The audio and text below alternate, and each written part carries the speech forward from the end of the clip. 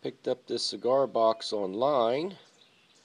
It's either Spanish cedar or redwood. I'm not sure. But I'm going to take the bottom of that box off and make a tenor ukulele. I took some, not stain, I took teak oil and cleaned that up with a little teak oil, gave it a little bit of color. There's what it was like, and it came out really nice and red. Anyway, and I got a piece of western red cedar I'm going to use for the top. Got this neck off of a ukulele. And there's my bridge and saddle. I'm going to work on that today and we'll see it later. It's going to come out nice. Awesome. bottom off, I take this flat screwdriver, kind of wedge that underneath. They're usually nailed on if they're an older box. But I'll pry that up and that'll come right off.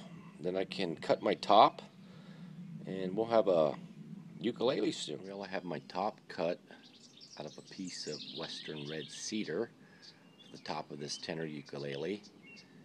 And I have the bridge glued on.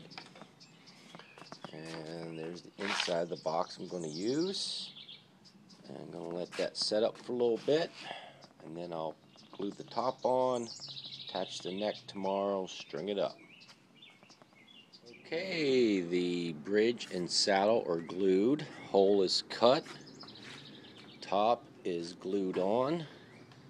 Clamp that baby on for about a half an hour and then we'll let it set up overnight.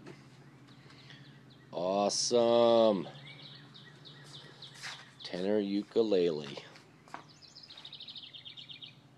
Okay, the top is glued on. All I gotta do is put that neck on yet but I love the color combination. Again, I used some uh, teak oil and uh, really spruce that thing up. Alright, I'll string it up uh, tomorrow. Attach the neck here in a little bit. I think it looks really nice. Can't wait to hear it. Okay, the neck is uh, getting glued on right now.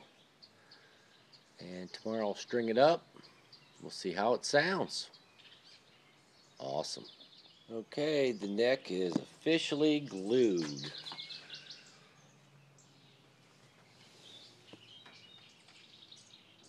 I can't wait to get those clamps off and check it out. Alright, good morning everybody. I got my uh, tenor cigar box ukulele finished, strung up. It is a Windsor, House of Windsor Palm cigar box, I think from the 1950s. And the whole time I kept thinking this was a dovetail and did not realize that's not a dovetail, it's called a lockwork.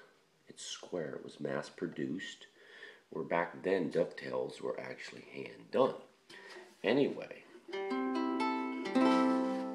sounds good. I'm going to play the same song I always do.